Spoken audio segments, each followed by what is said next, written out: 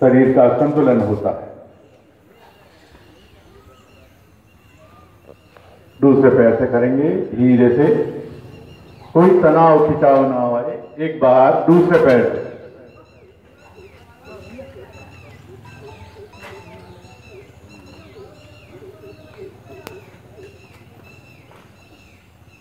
दाहिने बाएँ पैर से करने के बाद विराम। अगला अभ्यास पाद हस्तासन। हाथ ऊपर उठाएँगे दोनों और धीरे धीरे झुकते हुए पैर के पंजे को छीएँगे। बिल्कुल ही सांस छोड़ते हुए जितना जाते शरीर में तनाव खिंचाव ना आए, जितना हो उतना ही करें। ऐसे ऐसे सांस छोड़ दें। सांस लेते ऊपर आएँगे। धीरे धीरे ऐसे ऐसे।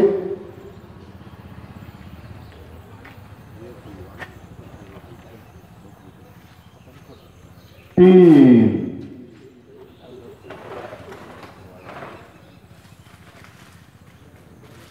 विराम।